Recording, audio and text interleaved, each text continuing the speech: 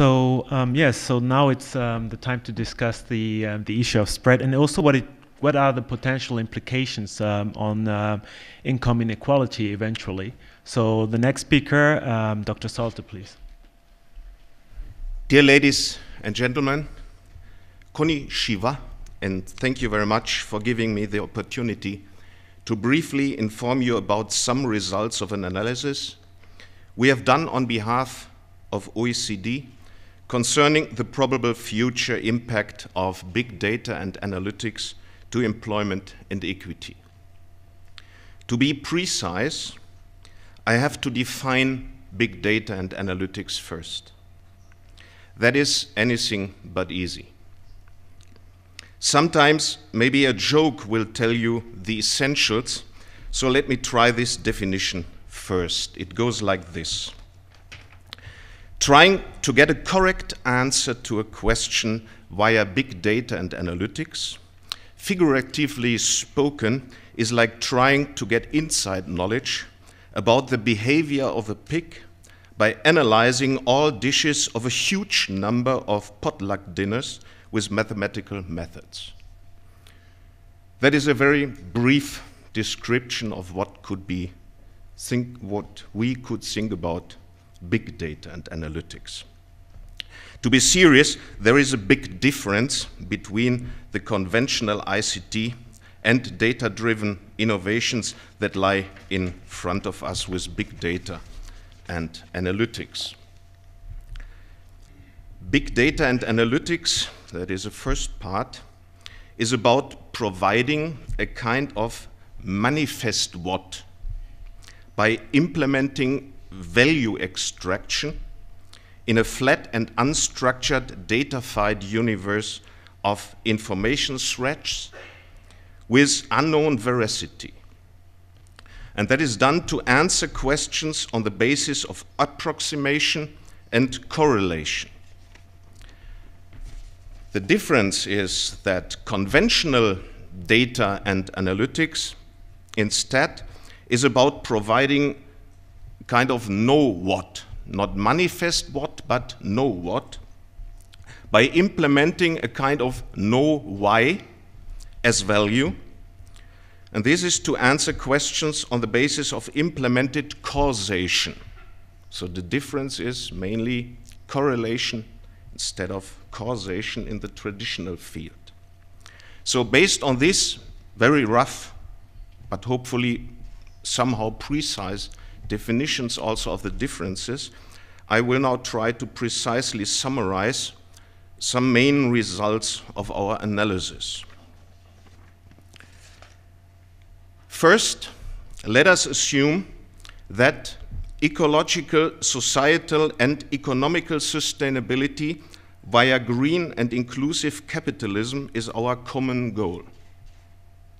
Second, let us further assume green and inclusive growth of GDP with a fair distribution pattern of entitlement and participation to be a prerequisite towards societal and ecological sustainability. Big data and analytics have a big potential into this direction. First, massive dematerialization of the production of goods and service seems to be possible with the help of new data-driven innovations. And this would be a prerequisite for green growth. And everybody could become what I, what I here named citizen of the cloud. And that means a possible workforce inclusion of nearly 5 billion people in the working age globally today. And this could be up to approximately 7 billion people in the working age population within the next 30 years. You have to have in mind that currently the employment and the number of employed people in the OECD countries is a little bit more than 500 million. And this number you have to compare to a probable workforce in the next 30 years of about 7 billion people. So, on the one hand side, BDA could have a positive impact into that direction of green and inclusive growth and capitalism. But there is a but, and it is a big but. Since BD&A could have also negative impacts, I only want to mention here uh, the problem of total transparency. And the second is a possibility of a technologically induced unemployment.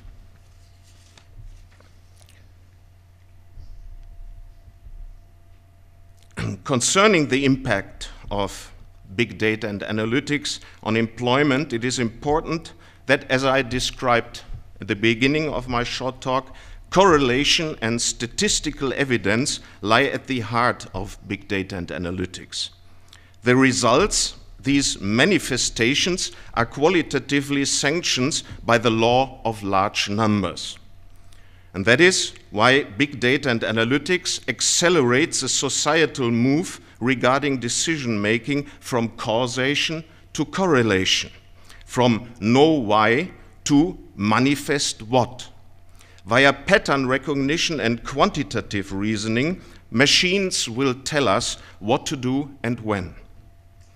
And there, a warning has to be given, which is illustratively perfectly described from Nassim Taleb, who says, Be careful, black swans do exist. For example, the financial crisis was not predicted by econometrics and the big rating institutions have, via quantitative risk management, uh, rated a huge amount of securities as AAA, which become some minutes later toxic, toxic papers. So the best would this would thus be a teaming of humans and machines and the key policy challenges results from the facts that, first, there are skills necessary far beyond a data focused part of science, technology, engineering, and mathematics, which one abbreviates as STEM. Far beyond it is possible to enable people to detect in advance, so ex ante, those black swans via qualitative reasoning instead of quantitative reasoning. And this, this requires huge and multidisciplinary know-how and know-why. And second is the regulation of responsibility and, and accountability is necessary to enable people to override machine and correlation based decisions in situations where qualitative reasoning or even what we call intuition or creativity contradicts statistical evidence. And the following question leads to such a situation where causation contradicts correlation. It is a question what is a predicted What is a predicted impact of big data and analytics on employment? Some facts. McKinsey predicts the potential of big data and analytics to be 5% or up to 10% on productivity growth. And the focus of optimization, since productivity growth is mainly optimization of automation, the focus are middle wage jobs of last decades that are at stake.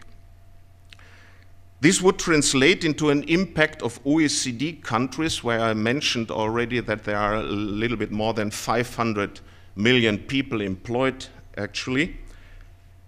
5 to 10% on productivity growth would translate, at the first step, to a job loss of 25 up to a little bit more than 50 million jobs.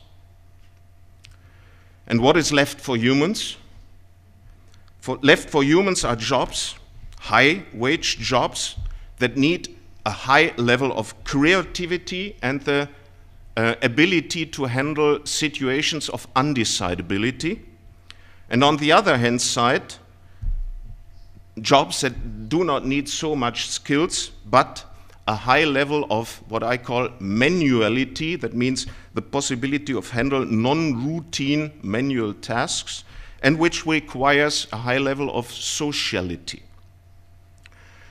What is a good news about jobs eventually to raise up um, because of big data and analytics?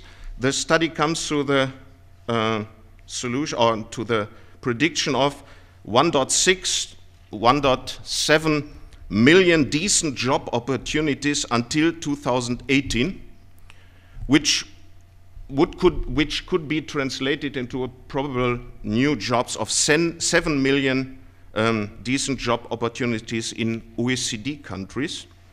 And the big question is how to fill the, um, the, the job opportunity gap of which is then approximately 20 or 45 million jobs in the OECD, and how could we fill the, the possible job gap worldwide, which would be much, much higher.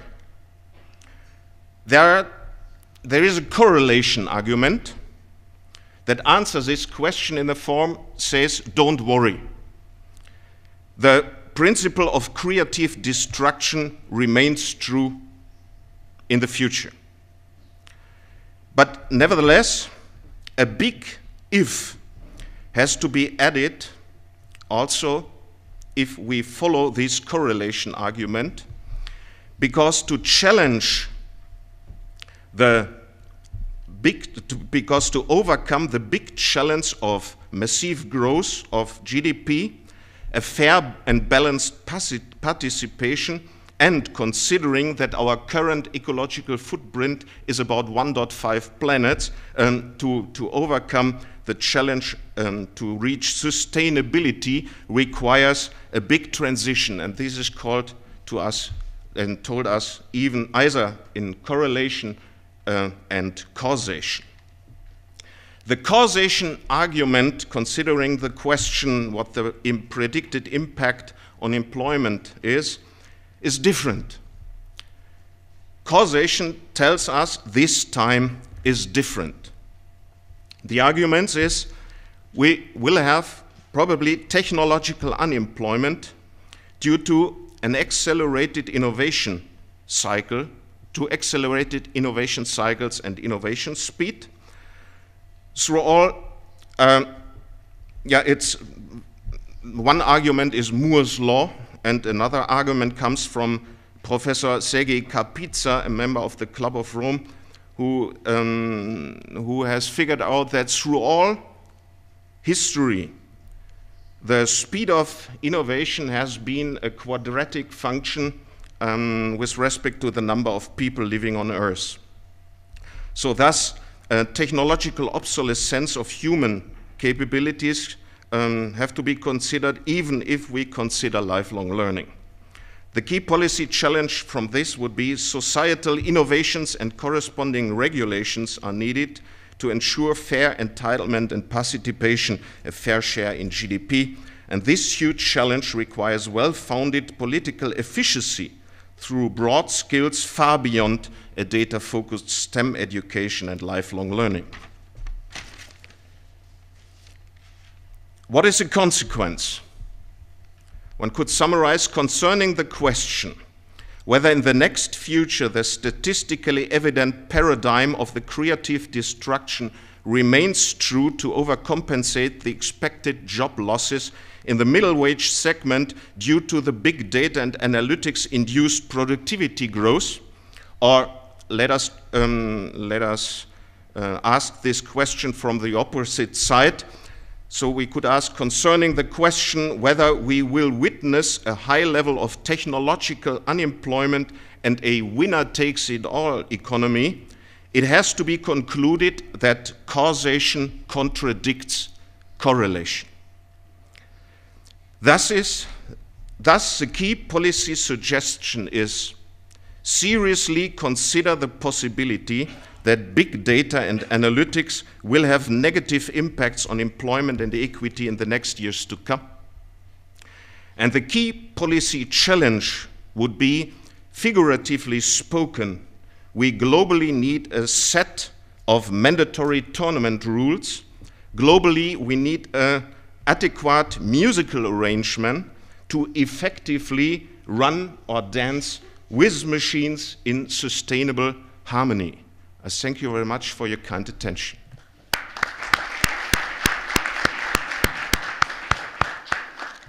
Thank you very much.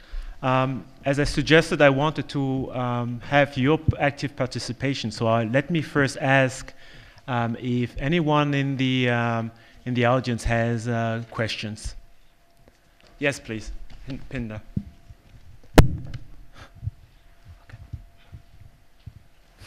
Lots of questions because I want to cheat for my last session of the day. Um, questions, um, questions actually directed to Dirk, but also any of the panelists can um, chime in. Um, in terms of the different scenarios that you mentioned, dancing with the machines, that's a lovely image. Um, are there def uh, default positions, for example, with respect to privacy, that you can, that should be considered to avoid this gap that you present that in jobs that will be inevitable. Well, not ine inevitable, but that you project. So if, if, the, if the future scenario is there's going to be a big impact, and that big impact with respect to jobs is going to be negative, and that there's a gap that will be created, how can you smooth that out? Are there any, are there any um, ways that we can manage the transition more gracefully? Thank you. So should I answer it directly or should we? I think, is there any, um, are there any related questions to that particular, okay, yes, please. um, Mr. Mr. Wyckoff, please.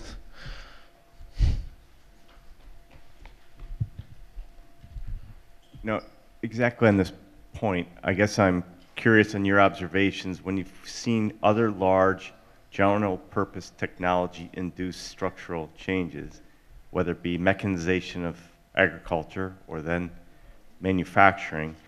Agriculture took arguably 100 years to play out, manufacturing maybe 50 or 70. Do you sense that this transformation is happening much faster? And um, if so, it goes to Pinder's point, how do you begin to smoothen? Um, we're kind of running out of sectors to push people into. Um, what are your thoughts about uh, where they will end up? And if I could just, Christian, going to Ataka-san, uh, your remarks about data scientists and, and the movement and the need for uh, focusing on these skills seems to contradict a little bit what Jacob said yesterday, that the software will be in place so that these skills aren't as badly needed as we think. Um, can you respond to that contradiction? Yes, please. Yeah, I tried to, to answer this question as, as, short as possible, but, but for sure it's, it's very difficult. It's, it's the most difficult question. What I said is causation tells so. And there are several arguments of causation. The first is the question which kind of jobs disappear. At our research institute, we have, a, we have developed a four-level architecture of human capabilities, um, which have two levels on a subsymbolic uh, layer and two levels on a symbolic layer. On the top is theory, then comes rules, and on the bottom are sensoric and actuars. So it's the lowest layer. And in the middle, in the second layer from above is a layer of pattern recognition and um, the, the pattern recognition mainly and, and intuitivity and creativity would be to translate patterns detected into symbols so that they can be worked out in rules or even in theory. Computerization came from top. First you had calculations, so it was directly series. Then we have rule-based systems, so that was a second layer. And at the same time, automation comes from the bottom um, because sensors, actuators are even better as any humans that we have. So, and, and today, we, we try to automize and we are able somehow to automize the last layer of human capability. And what's left is, is only the transition process between pattern recognition and to give them symbols. And even um, computer systems can make symbols out of patterns and work with them. So that means the new phase of innovation detects what has left in the last 30 years for human activities. So this makes it very, very difficult to find new slots where humans can actively work. It's the first argument. Because it has to be then also outside the needs must segment, because the needs must segments, the goods and services that we need, are highly automated. And so new jobs, by the help of creative destruction, should be in the nice to have segment. What is the problem there? The problem is our current ecological footprint is about 1.5 planets. And as, ever, as everybody know, some natural resources are needed for any kind of products and services. Um, it is energy. You need energy for everything.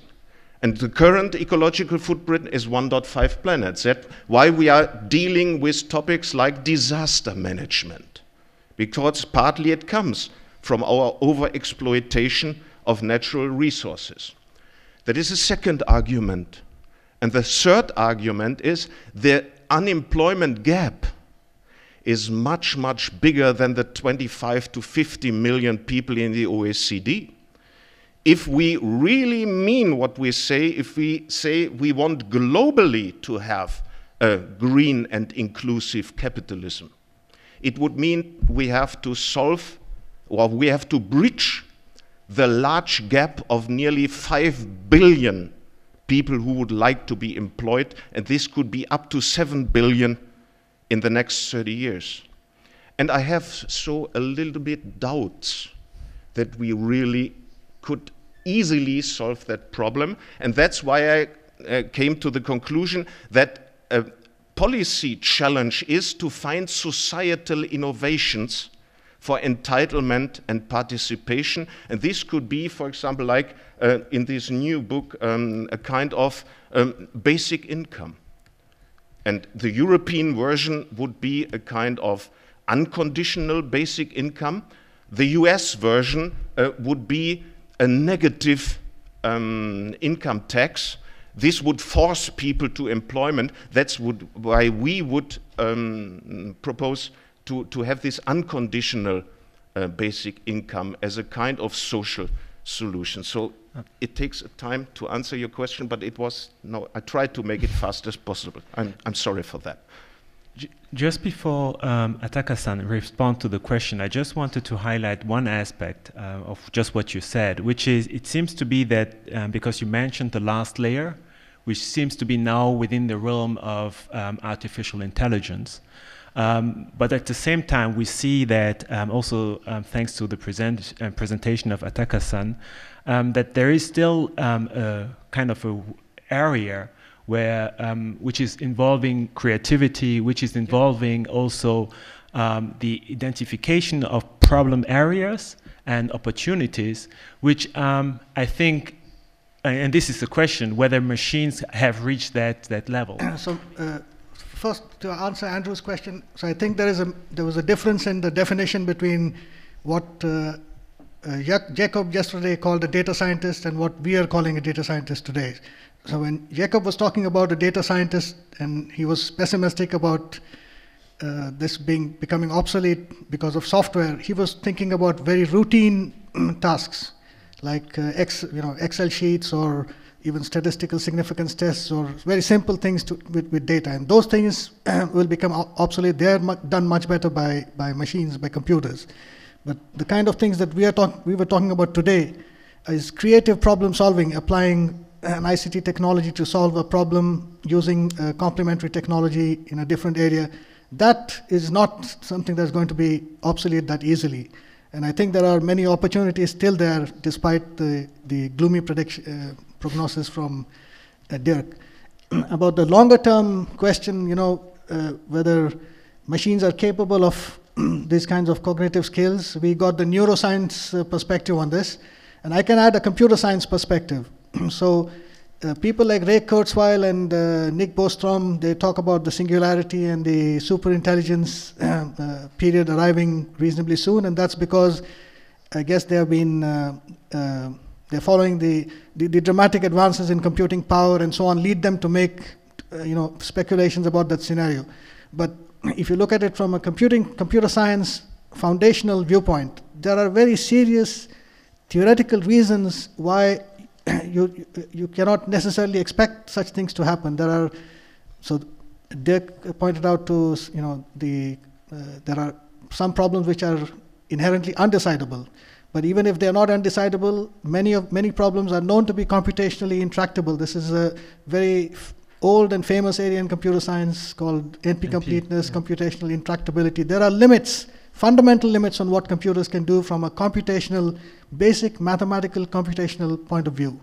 So it is not necessarily that uh, clear that this singularity in the superintelligence phase where uh, machines take over completely is actually ever going to be possible. It's legit to speculate about it, but there are very serious theoretical reasons why those obstacles, those fundamental obstacles, are not going to be breached that easily. Hmm. Um, Dirk wanted to say something, and then we have a question by Professor Obi. It is. I, I, I, do not want to to be dooming. It is only I want to, to to make the point clear that there are very huge political challenges to be dealt with now, and then we go into a positive and good future from mm. my point of view. And with respect to the to the question which is left for humans, I absolutely agree. It is creativity it is this kind of facility to deal with situations in, in, in undecidability problems. The big question is whether we are allowed to do so if we have this paradigm of correlation. So the big problem will be if we are able to raise new questions, will we get really innovative answers from correlation machines if none of humans are willing because of probable liability if, if somebody overrides, for example, the diagnosis that is done by a machine, will there be a physician willing to override what the computer has suggested as a treatment? And will these this physician will take over then the accountability for this overriding. So the question is if we raise new questions, creativity, uh, whether we get real innovative answers if we focus on these correlation machines. Mm. This is a point that I would try to make clear, and this is a high, high political challenge mm. to be dealt with. Thank you. Uh, my name is Yuko Harayama, formerly working for the OECD, but now I'm working for the Japanese government. Uh, just a short question. The title of this session is Promoting Skills for the Data-Driven Economy.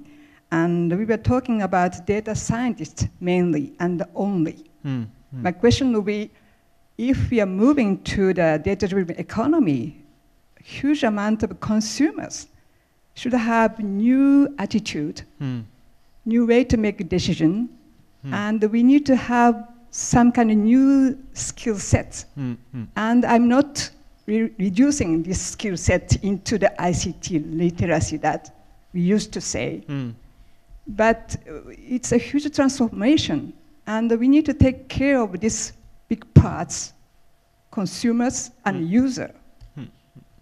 Just my question. Thank you very much. And if, if I may add to, to underline indeed um, that this is an area that we have missed, um, we have been also working in that respect um, in, in, uh, in, on, in, particular in the area of children on um, the awareness of um, security and privacy risks. and there seem indeed to be a need to, to, to raise awareness. And I think this is also something maybe um, the panelists could, could also address, like um, how can we increase awareness and also the basic literacy in how to deal with, with many of the issues that we are encountering in the data-driven um, and data-driven economy. Um, so the next um, is uh, Mr. Esmeyer in the back.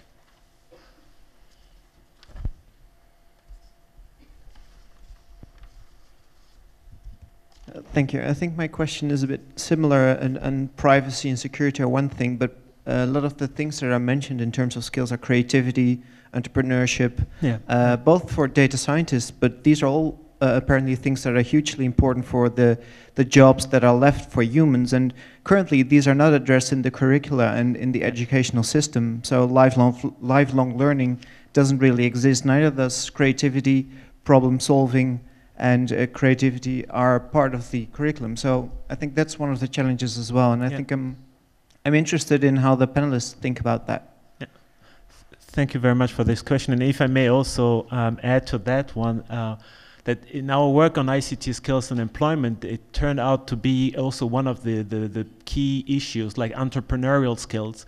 So while um, the university system, or let's say third level education, has been focusing a lot on providing the ICT skills or high tech skills. Um, very few initiatives have really focused on promoting entrepreneurial skills, which, are, however, turned out to be also very difficult to train um, in a formal context.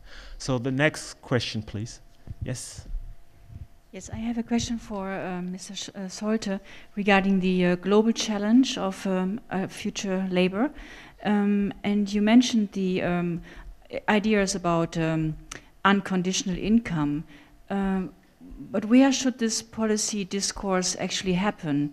The OECD is very small, and uh, in the UN circles, I think um, this kind of idea is not yet very advanced. And uh, I think overall there are very few economists who uh, would probably support such ideas at the moment, and we can follow the discussion in Switzerland at the moment on unconditional income. So, where do you see hope for grand societal problem solvers?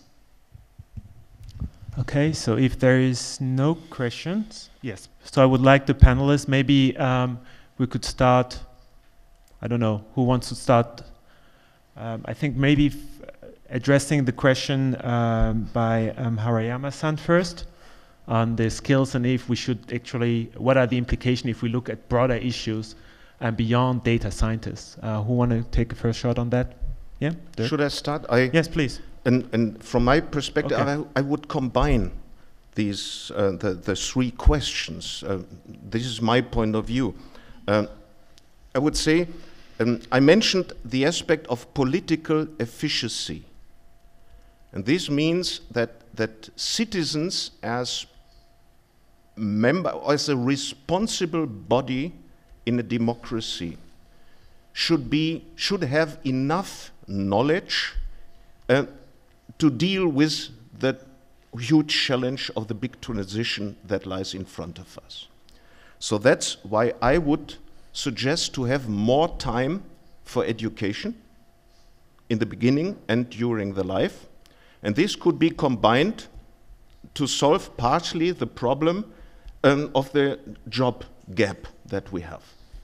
So we one solution would be simply not to work so much, but to have more time for lifelong learning and education, especially in the beginning or in the first 20 or 25 years of your life. To become then a citizen which really feels political efficiency internally and externally. So the question is how this kind of additional knowledge, which, is, which far goes beyond these data-focused STEM, science, technology, and so, uh, which, which needs a lot of orientational knowledge about this, this highly dynamic system we are living in.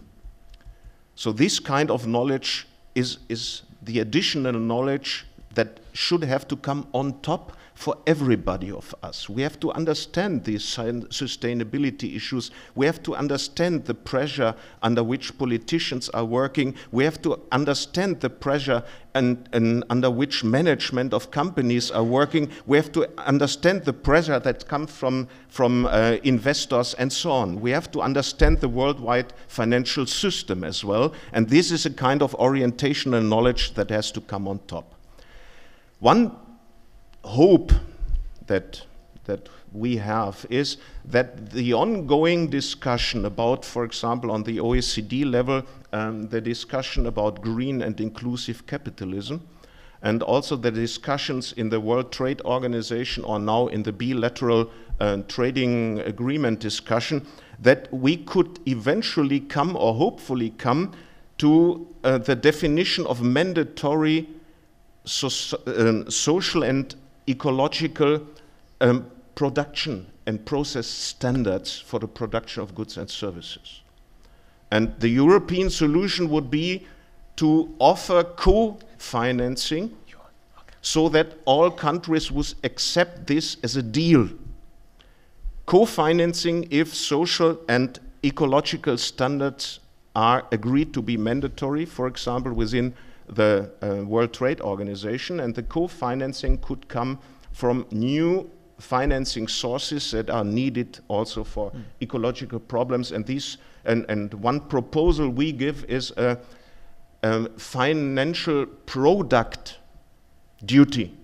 So if new hmm. financial products are implemented, that there has to be a duty on it. It's not a transaction tax; it's a financial um, okay sustainable and stability contribution, as for example, uh, supported by IMF. So my hope is that we, we are willing on a global level to come to a deal, co-financing okay. for the acceptance of a social standard, and then uh, an unconditional basic participation, or however we call it, could be such a kind of social standard to be agreed upon. Okay. Okay. Yes. Uh, if I can just supplement those remarks, I think uh, these uh, issues about sustainability they really need to permeate the curriculum at all levels. Uh, we we do have it in Sweden at the university level. Sustainability is is uh, made a center point in across uh, all kinds of studies at the university, and they probably need to be taken up even earlier. so I agree with that in in, in general. Um, probably at the school level, you also need to develop uh, problem solving, algorithmic uh, thinking, and so on amongst kids. That's the way to prepare them for the data driven economy, complement, complementing the sustainability viewpoint. And about the, uh, the question about the basic income and where support for that uh, can come from, I just wanted to give again a Swedish perspective. So, uh, so in, in Sweden, uh, uh, in the, across the political spectrum, it is true that the, the, there is not that much support, but among two of the, the leading parties in the political spectrum, the Green Party and the, the Left Party, there are grassroots movements for basic income within those two parties. So within those okay. two parties, at least, which is a significant, quite a significant percentage of the Swedish population, there is support for basic income. And uh, your, your, question was that it doesn't have support of uh, any economists. That's actually not true. If you look at even Brynjolfsson and McAfee, who are uh, very mainstream economists, they are by no means radical economists. They are mainstream economists, and they do uh, support basic income. Although in their case they uh, favor the American version, which is the negative income tax. That has to do with the American versus the European points of view and uh, you, you, can find uh, other mainstream economists also supporting that. So it is not that uh, far left field an idea uh, uh, today.